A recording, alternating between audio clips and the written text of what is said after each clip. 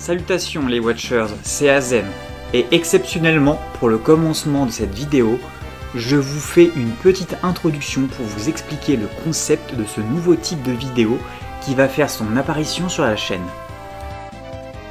C'est donc une nouvelle série de chroniques qui commence par cette vidéo qui porte le nom de l'éclat du cristal. Il s'agit d'un format plus culturel qui va revenir sur un élément d'un jeu Final Fantasy que je vais vous expliquer et développer afin de vous présenter de façon plus profonde et peut-être vous apprendre des choses sur le sujet abordé dans la vidéo.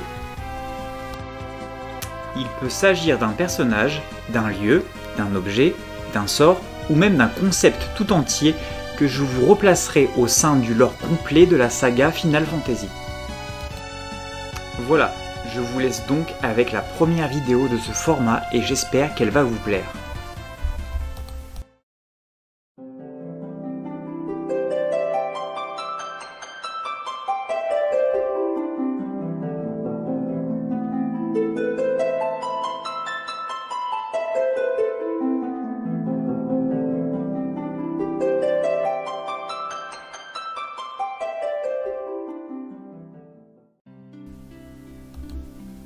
Cornelia est une ville du premier Final Fantasy, mais pas n'importe laquelle, car il s'agit du point de départ du jeu et donc de la toute première cité que l'on visite, ce qui fait de Cornelia littéralement le premier lieu que l'on visite de toute la saga.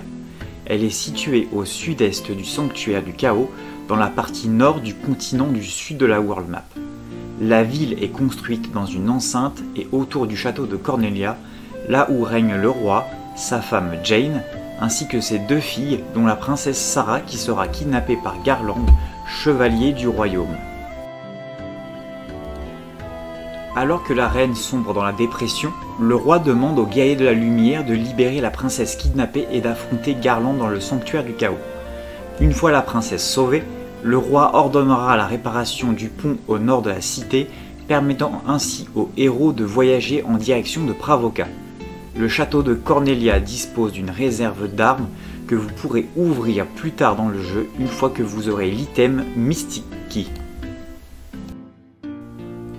La ville comprend un total de 5 boutiques qui sont une boutique d'objets, une boutique d'armes, une boutique d'armure, une boutique de magie blanche et une boutique de magie noire. La ville ne possède dans le jeu aucun thème musical qui lui est dédié. C'est le thème des villes classiques qui ambiancera la zone durant votre exploration. Les autres lieux notoires du royaume sont le château, l'auberge et le puits, ainsi que l'église qui permet de ramener à la vie un membre de votre équipe. Contrairement à la ville, le château, lui, possède son propre thème musical que voici.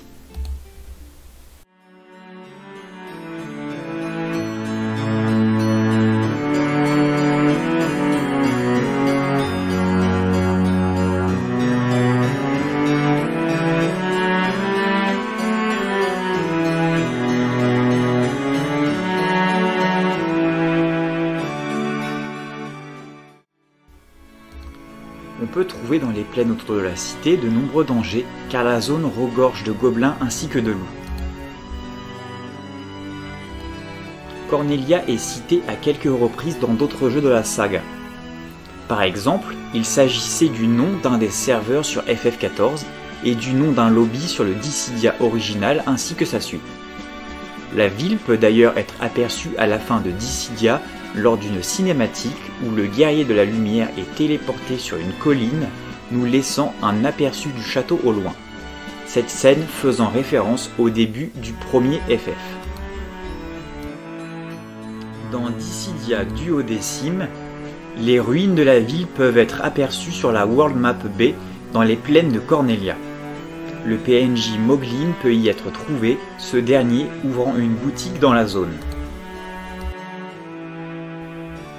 Château est également visible sur l'arène de FF1 dans Dissidia NT, dans la file de zone de FF1 dans Theater Rhythm, ainsi que dans le jeu Airborne Brigade.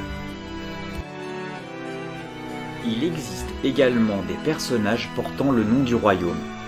Un personnage porte ce nom dans la pièce de théâtre de FF9 Je veux être ton canari. Un autre PNJ porte ce nom dans Lightning Returns. Dans FF14, il s'agit du créateur du style de pugiliste, et deux autres PNJ dans FF11. Un membre des mousquetaires de Mithril et Cornelia Karst, fille du président de Bastock.